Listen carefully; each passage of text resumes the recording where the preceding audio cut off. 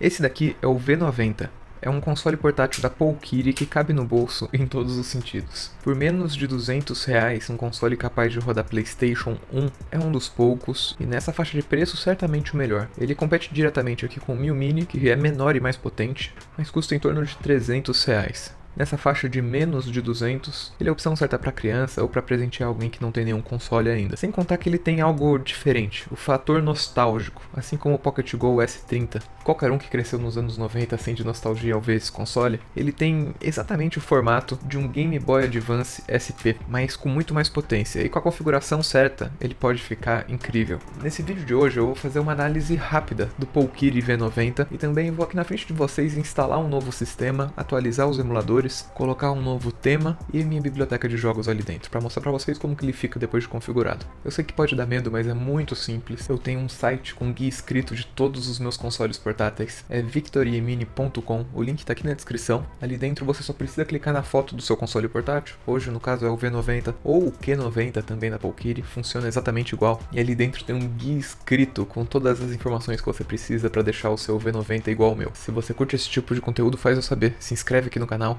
clica no sino de notificação, deixa um like. Feito isso, é hora da gente começar essa análise rápida. Os botões frontais dele são AB, XY, Start Select e um D-pad, que tem um tamanho bem legal para o tamanho do console. O clique deles é confortável, nada que incomode, tem uma boa quantidade de viagem neles. Ele tem botões R1, R2, L1, L2, mas tem um porém. O L2 e R2 não funcionam. Dizem que eles têm conexão e deveriam funcionar, é tudo culpa do sistema, mas até hoje não saiu uma atualização consertando isso.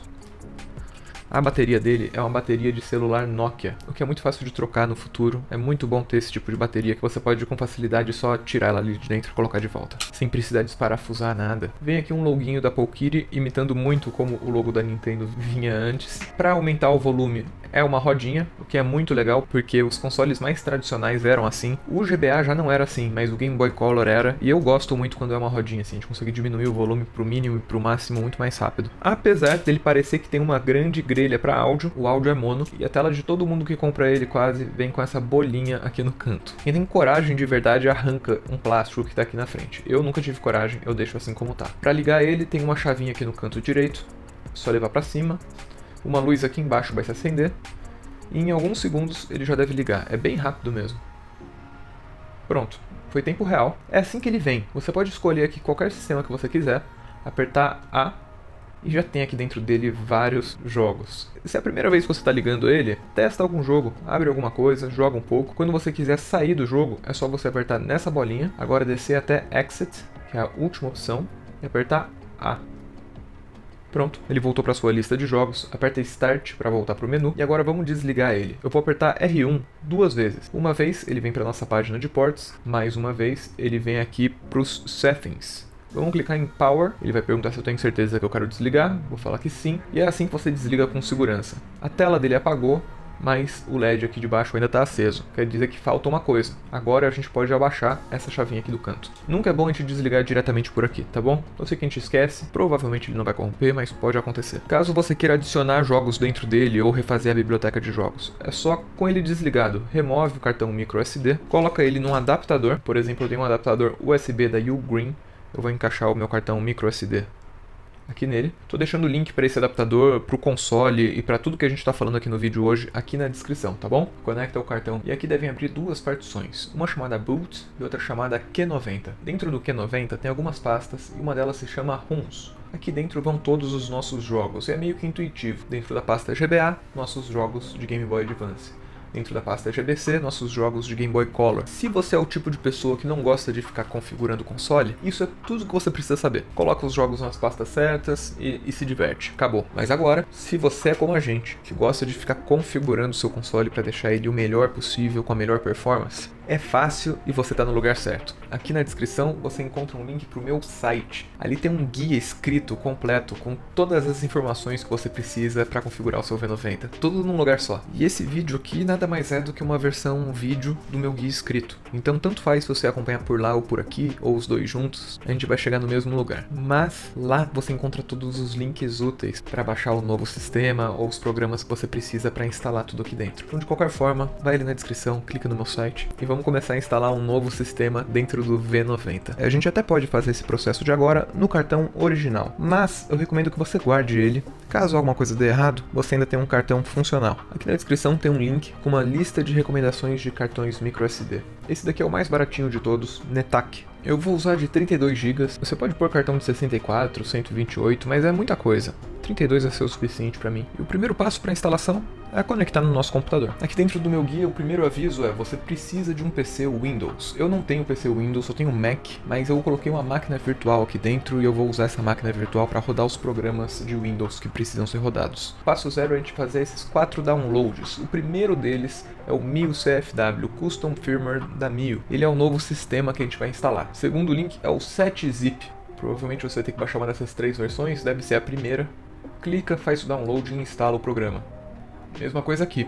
Partition Wizard. Clica, abre essa página, vem aqui no canto direito em Download Partition e aqui em Free Edition você aperta Download. O último download, Balena Etcher. Clica, você vem para o site deles, vai ter aqui a opção para você fazer o download para o seu sistema. Baixa aqui a versão de Windows, funciona em Mac também, em Linux, em tudo. E pronto, para instalar o sistema você já tem tudo que precisa. Se você fez os quatro downloads, você deve ter esses quatro arquivos que você está vendo aqui na tela. Agora você deve instalar esses três executáveis. Para fazer isso é só clicar duas vezes e seguir as instruções de cada um.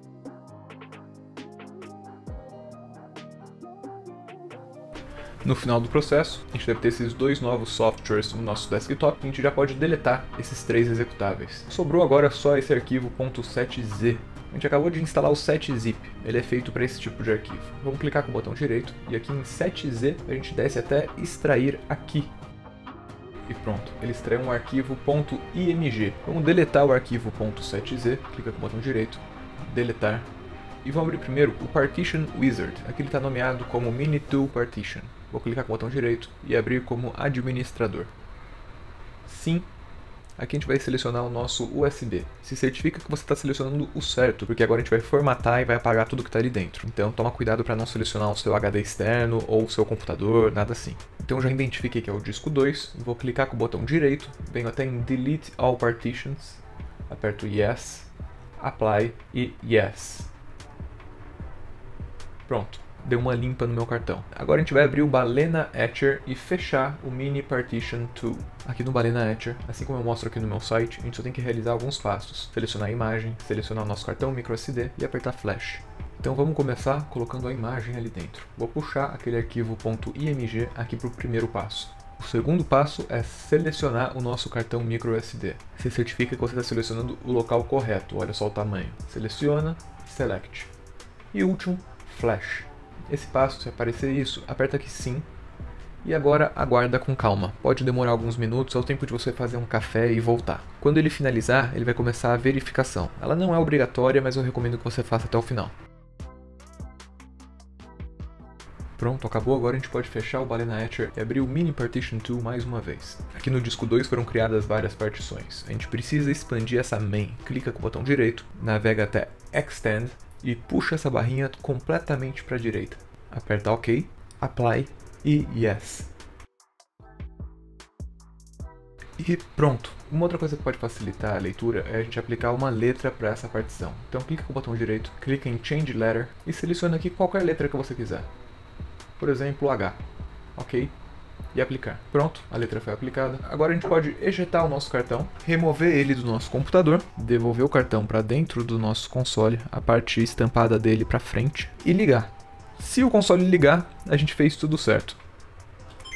Ele já está funcionando, esses são todos os emuladores, mas ele está vazio, está limpo, sem jogos, sem nada aqui dentro. Então antes da gente começar a jogar, a gente precisa desligar ele. Para desligar ele com segurança, agora é só você segurar Start e agora apertar A.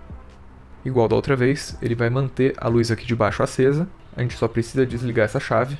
Ele está completamente desligado. E remove o cartão microSD mais uma vez. Devolve para o adaptador. E de volta para o computador.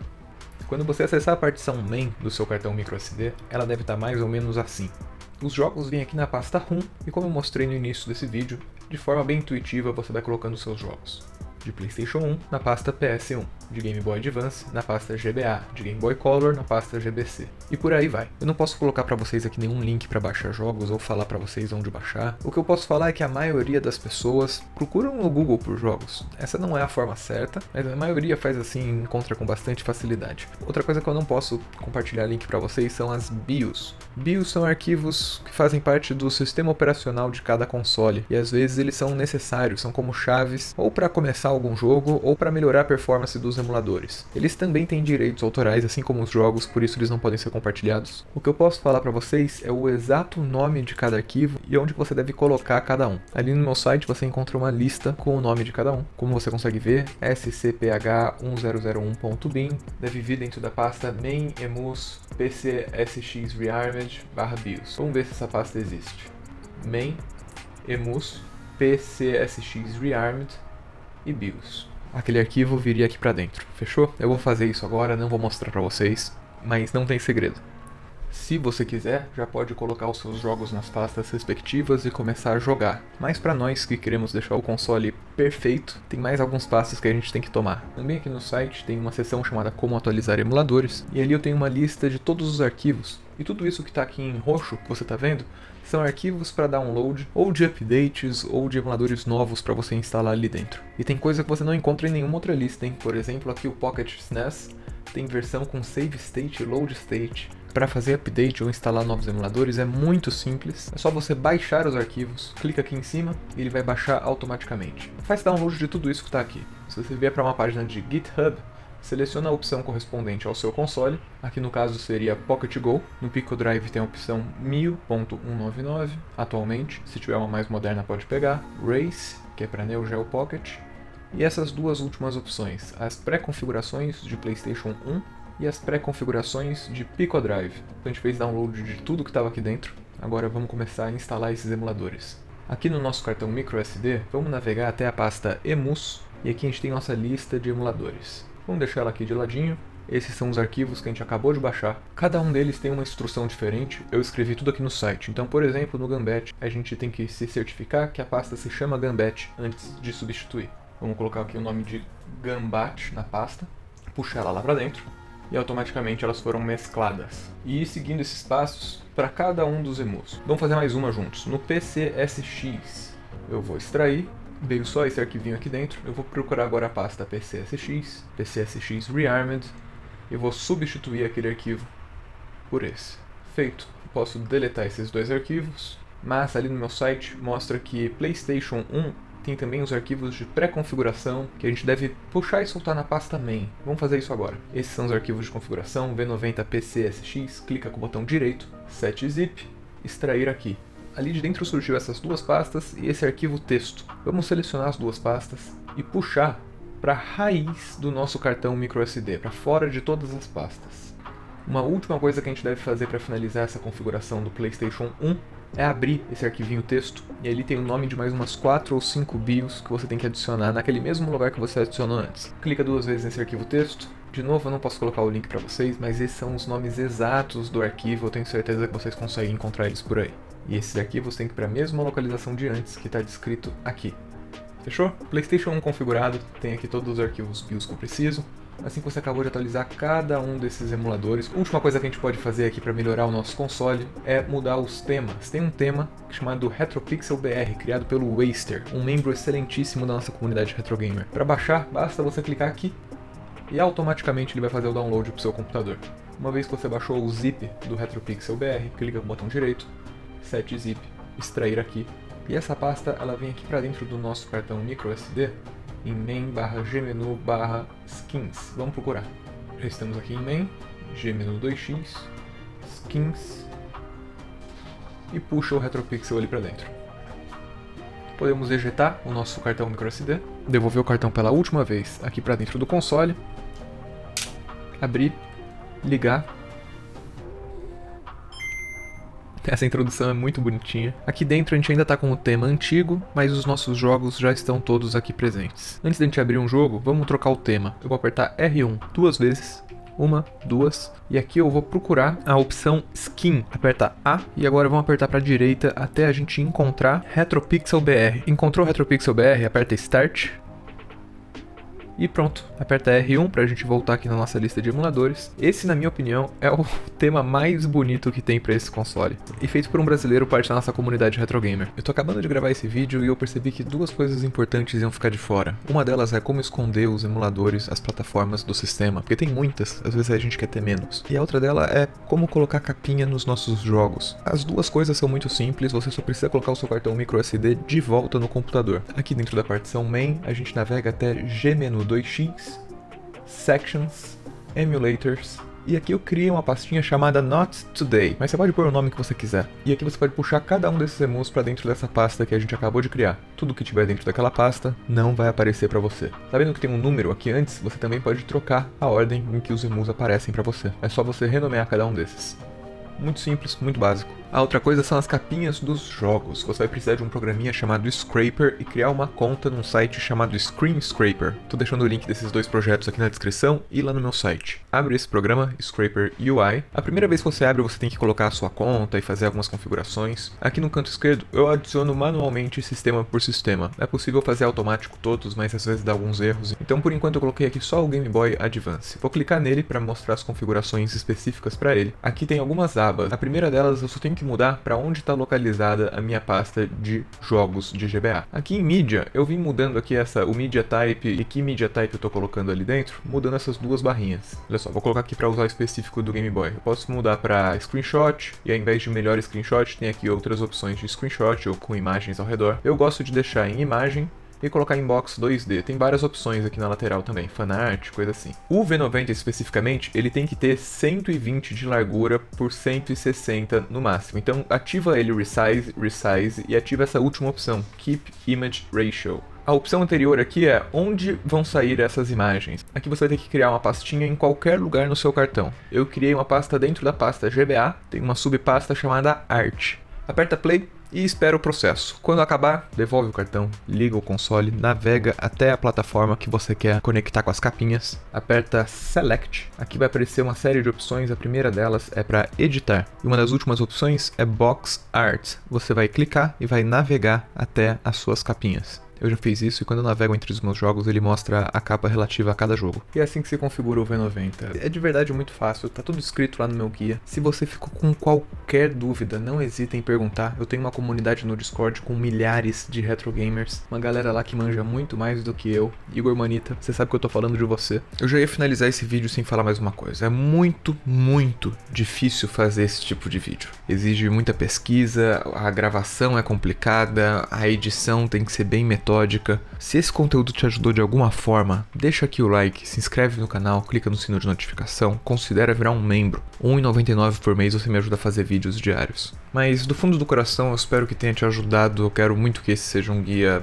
completo com tudo que a gente precisa saber sobre esse console. Lá no meu site podem ter atualizações, novos emuladores, novas coisas para você instalar mas o processo de instalação está todo presente aqui nesse vídeo. Muito obrigado por fazer parte dessa jornada, meu nome é Victor Mini como sempre. Eu volto no instante.